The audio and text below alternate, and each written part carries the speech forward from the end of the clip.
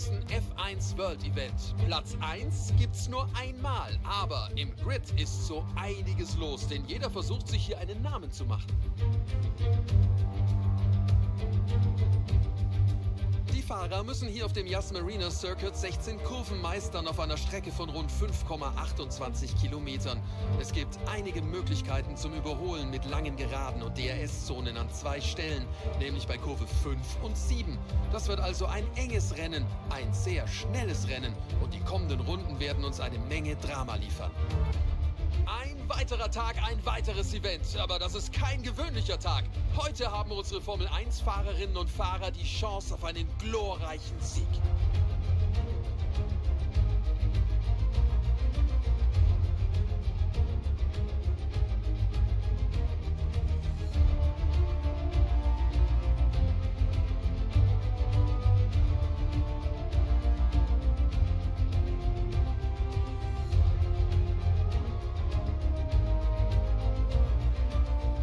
Hier ist eine Frage zu unserem Fahrer im Grid, der offensichtlich etwas langsamer unterwegs ist als einige der anderen.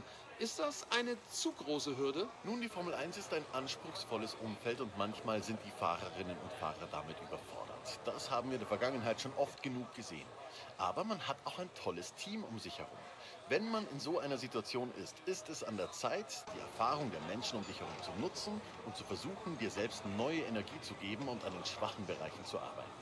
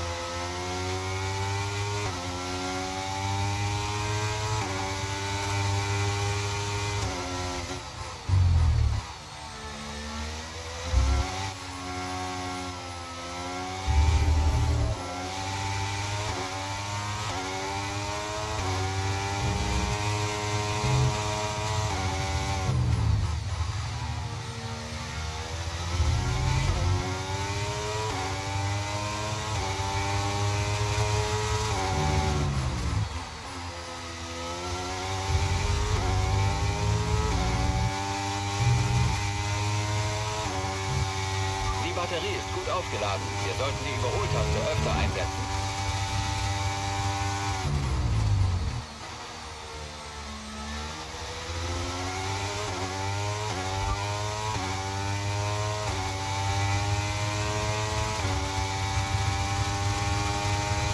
Verstanden?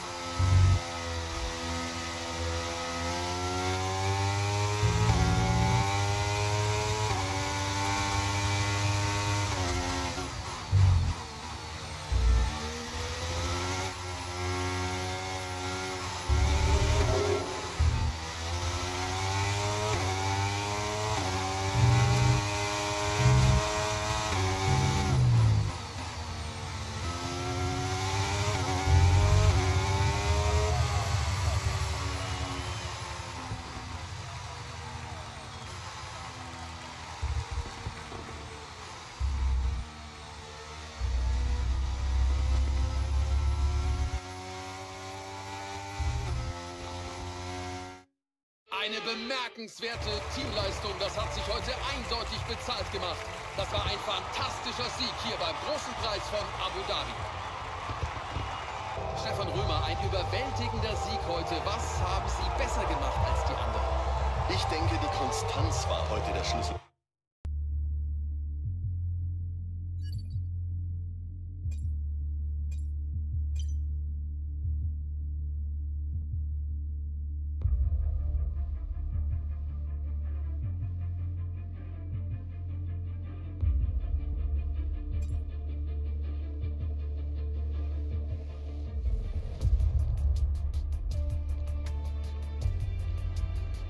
Dieses Symbol bedeutet, dass es sich um ein lizenziertes Event handelt.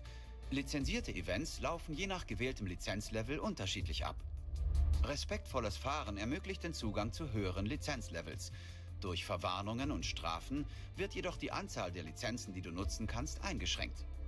Du kannst dir aussuchen, mit welcher der verfügbaren Lizenzen du fahren möchtest.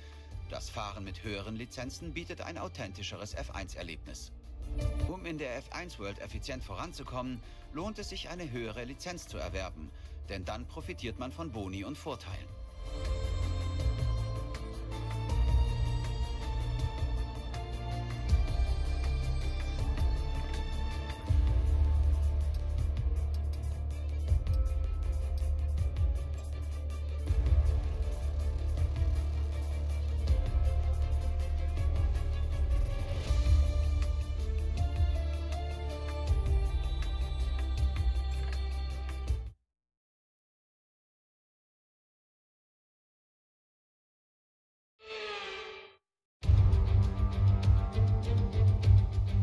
Willkommen, meine Damen und Herren, zu unserem neuen F1 World Event.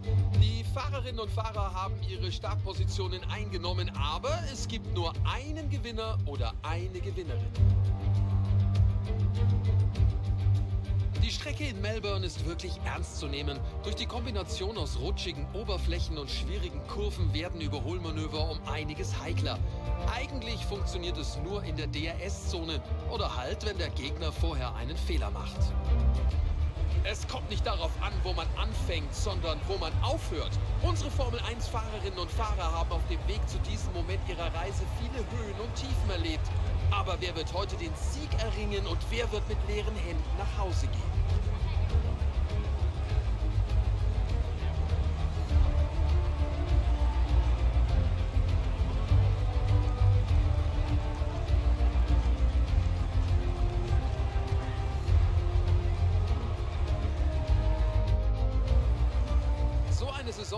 Ganz schön lang, Stefan. Wie verändert sich die Mentalität in den unterschiedlichen Phasen? Manche Fahrerinnen und Fahrer denken schon nach ein paar Rennen, dass alles gelaufen ist. Aber ja, die Saison ist lang und man kann viele Punkte holen. Es ist natürlich leicht zurückzublicken und zu denken, dass man jetzt x Punkte mehr hätte haben können, aber das kann man nicht ändern. Konzentriere dich also auf das, was du kontrollieren kannst. Arbeite so gut wie möglich mit dem Team zusammen und strebe von nun an nach Perfektion. Du kannst das Blatt immer noch wenden. Der Grund, warum du in diesem Wettbewerb in der Formel 1 bist, sind deine früheren Erfolge in diesem Sport. Schau also auf die positiven Momente zurück nicht auf das Negative.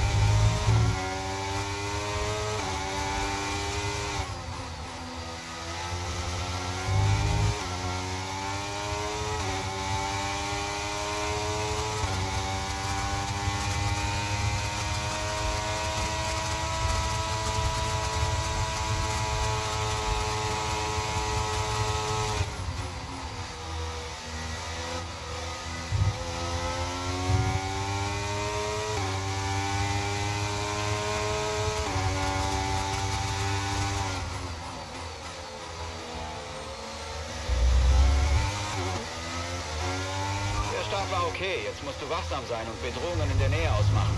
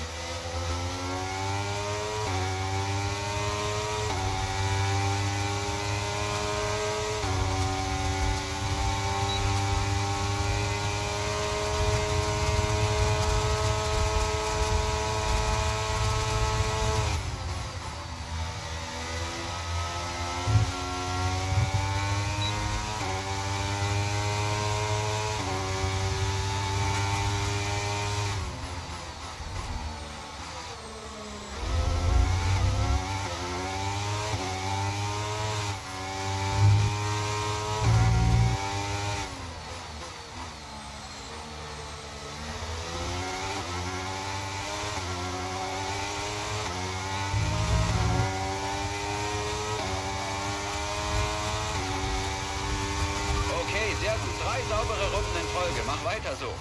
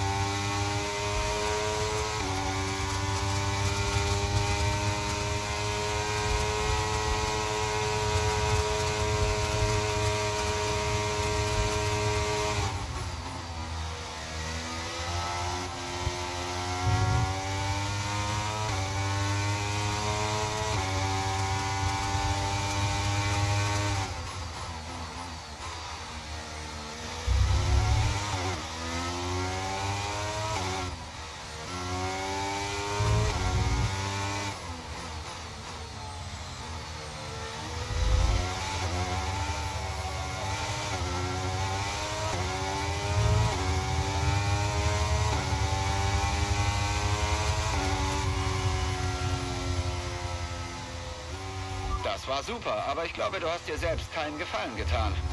So eine Leistung erwarten wir jetzt nämlich jedes Mal.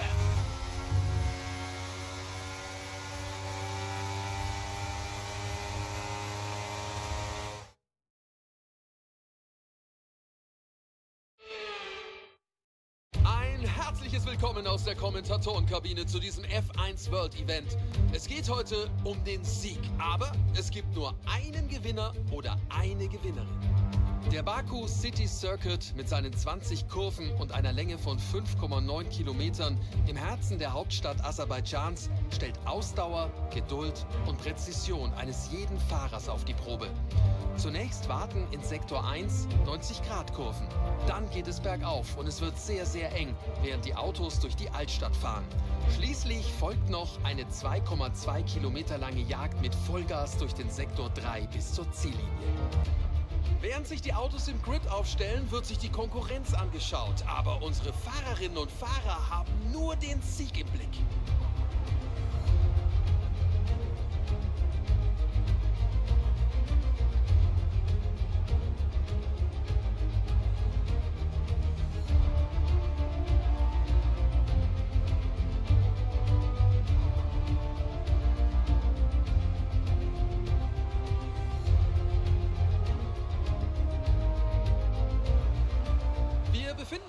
Mitte der Saison, Stefan. Hier gibt es viele Punkte zu holen und unser Fahrer konnte seit Beginn schon einige einfahren. Wie kann er das jetzt noch weiter ausbauen? Man sollte auf jeden Fall positiv bleiben und sich nicht darauf versteifen, was hätte sein können, Sascha. Dann fühlt man sich selbst nur als Opfer. Jeder hat das schon erlebt. Jeder hätte an irgendeiner Stelle mehr Punkte holen können. Man sollte sich auf das Hier und Jetzt konzentrieren und die Dinge kontrollieren, die man auch kontrollieren kann. Die Saison ist noch lang und es ist noch alles möglich.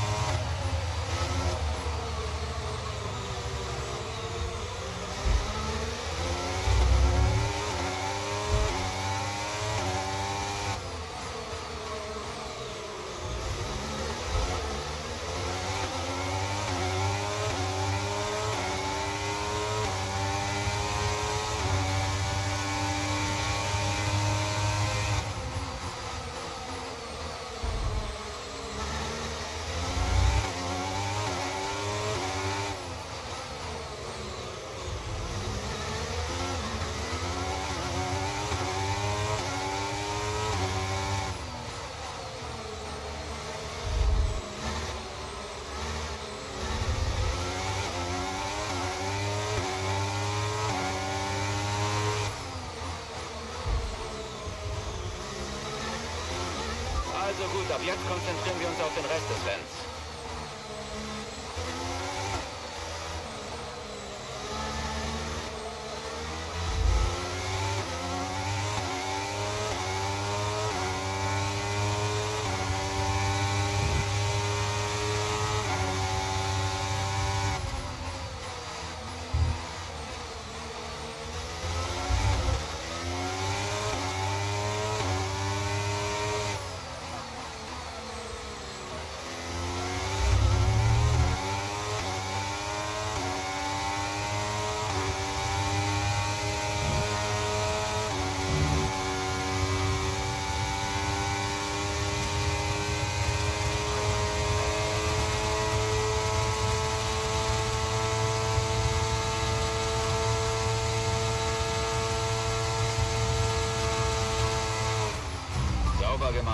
Arbeit.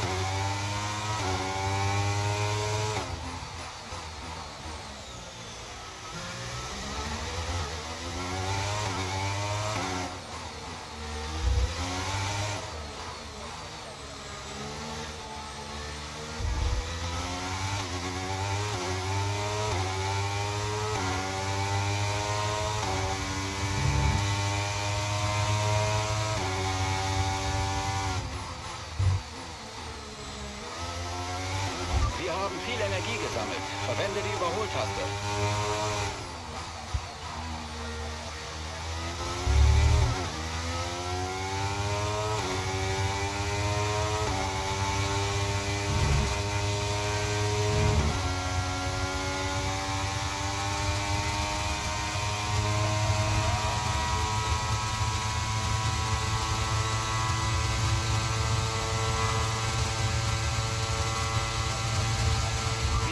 Das DRS verwenden. Der ist verfügbar.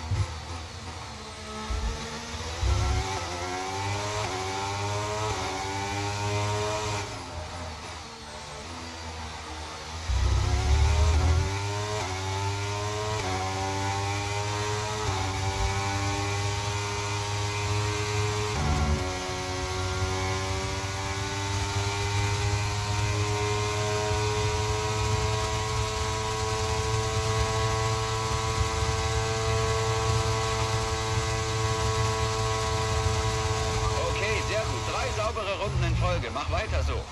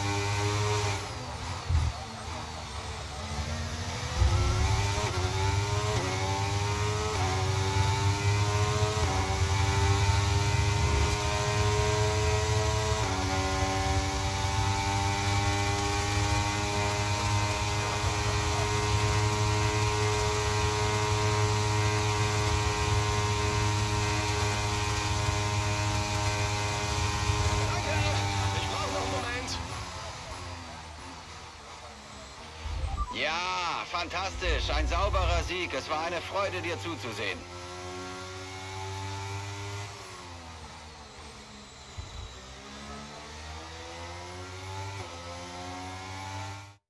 Und damit endet ein weiterer... Willkommen...